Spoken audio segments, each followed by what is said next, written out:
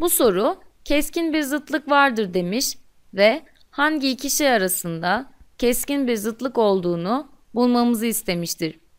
Doğru yanıta ulaşabilmek için parçada verilen near the source, a stream's water is usually cold, low in nutrition and clear cümlesiyle downstream, a river or stream generally widens and slows. The water is usually warmer and may be cloudier because of sediments and other particles suspended in it cümlelerine dikkat etmek gerekir. Bu cümlelerde kaynağa yakın derenin suyu genelde soğuktur. Besin bakımından düşüktür ve temiz, berraktır.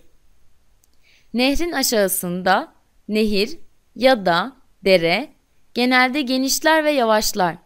Su genelde daha ılıktır ve tortular ve diğer parçacıklar nedeniyle daha bulanıktır denmiştir.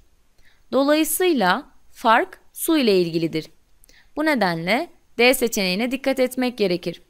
Bu seçenekte nehrin kaynağı ve aşağı kısmı arasında su özelliği bakımından keskin bir farklılık vardır denmiştir. Doğru yanıt D seçeneğidir.